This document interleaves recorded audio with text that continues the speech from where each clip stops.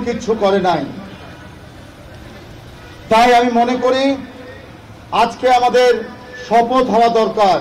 যে শপথটা সকালবেলা পাঠ করলাম।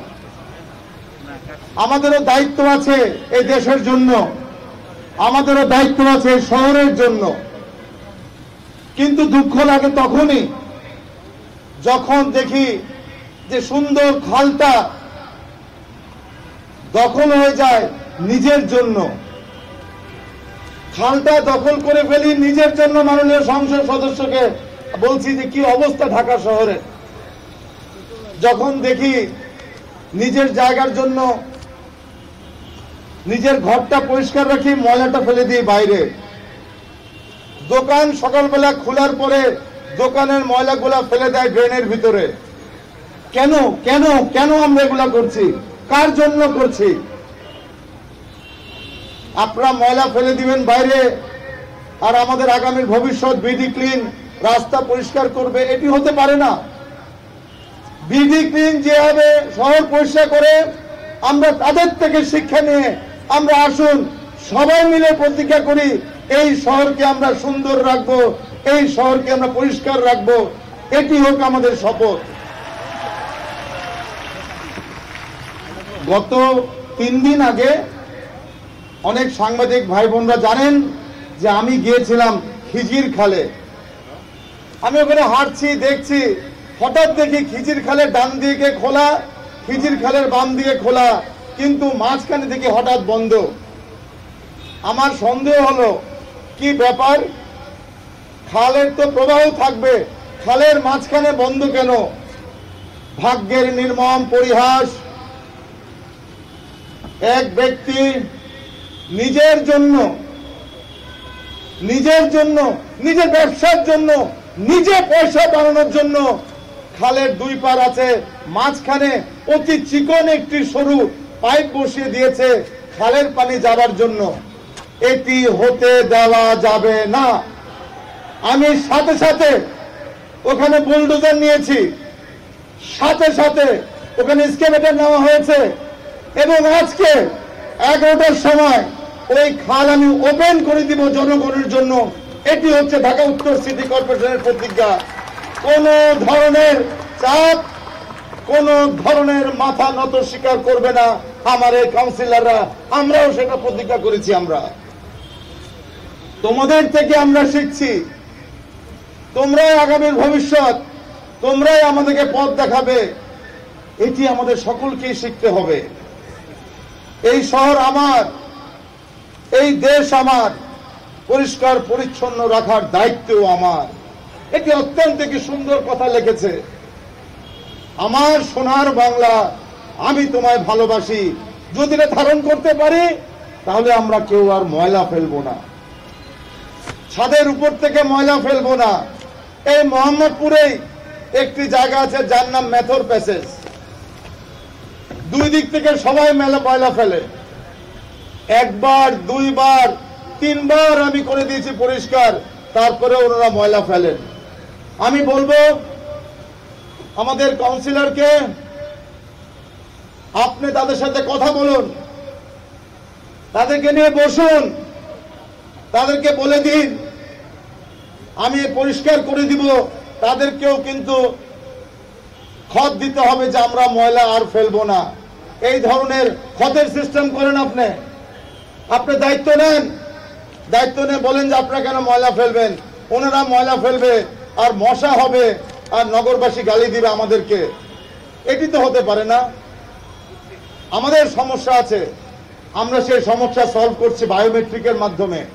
আমাদের সমস্যা আছে, আমরা আধুনিক কীভাবে প্রযুক্তিতে এই মশা নিধন করতে পারব, সেটি আমরা চেষ্টা করছি। আপনারা দেখেছেন যে আমরা আমাদের সনাতনী পদ্ধতি থেকে কীভাবে আধুনিক পদ্ধতিতে যাওয়া যায়, সেইভাবে আমরা অনেক ধরনের সুইপিং আনছি মেকানিক্যাল অনেক চেষ্টা করছি আমরা।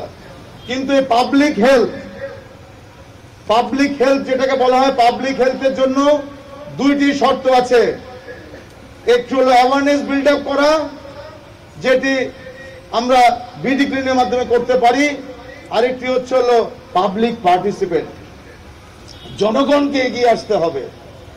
এই যে আজকে বিডি ক্লিন আসলো, এটি হলো পাবলিক পার্টিসিপেন্ট এটি হলো অ্যাওয়ারনেস এই জন্য আমি বিডি ক্লিনকে ধন্যবাদ জানাই যে ওনারা এগিয়ে আসছে। আজকে আমি মনে করি ধন্যবাদ জানাই। যে যখন করোনা যখন ছিল,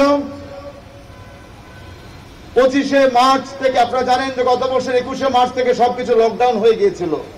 তখন আমার বনানী অফিসে এবং বনানী বিদ্যানিকেতন স্কুলে এই বিডি ক্রিনের সদস্যরা আমার সাথে রাত নাই, দিন নাই, চব্বিশ ঘণ্টা প্রায় ছিয়াত্তর হাজার আটশো প্যাকেট প্যাকেট করে প্রত্যেক বাড়িতে বাড়িতে দিয়ে আসছে এই বিডি ক্লিনের সদস্যরা আমার সাথে।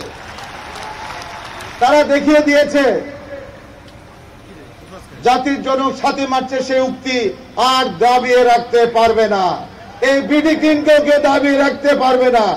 বিডি ক্লিন জেগেছে, জাগবে তার প্রমাণ দিয়েছে ছিয়াত্তর হাজার ঘরে খাওয়া পচিয়ে দিতে। বিডি ক্লিন দেখিয়েছে, নারায়ণগঞ্জে কীভাবে পরিষ্কার করতে হয়। বিডি ক্লিন দেখিয়ে দিবে, উত্তর সিটি কর্পোরেশনের ওয়ার্ডগুলা আজকেই দেখিয়ে দিবে। একত্রিশ নম্বর ওয়ার্ড কীভাবে পরিষ্কার করতে হয় আজকে দেখিয়ে দিবে। ওদের ভিতরে আছে মমতা। ওদের ভিতরে আছে চেতনা। ওদের ভিতরে আছে জিদ ওদের ভিতরে আছে জাতির জনকের সেই উক্তি আর দাবিয়ে রাখতে পারবে না। তাই আসুন, আজকে আমরা প্রতিজ্ঞা করি, নিজের জন্য না, দেশের জন্য। নিজের জন্য না, দশের জন্য। নিজের জন্য না, জনগণের জন্য। নিজের জন্য না, আমাদের এই দেশের জন্য আমরা যদি ত্যাগ দিই, ত্যাগ করি, আমরা নিজেকে যদি বিসর্জন দিই, তাহলে অবশ্যই আমাদের ভবিষ্যৎ পাবে একটি সুন্দর বাংলাদেশ। আজকে আমাদের দাদারা গাছ লাগিয়েছেন দেখে কিন্তু আমরা অক্সিজেন পাচ্ছি। দাদারা গাছ লাগিয়েছেন দেখে কিন্তু আমরা এখনও বেঁচে আছি। তাই আমরা মনে করি, আমরাও যেখানে সেখানে যেরকম ময়লা ফেলব না, আর যেখানেই জায়গা পাই, আমরা গাছ লাগিয়ে দিব। আরেকটি কথা বলতে চাই কাউন্সিলরদের জন্য। আমি ঘোষণা করেছি, আবার ঘোষণা করছি।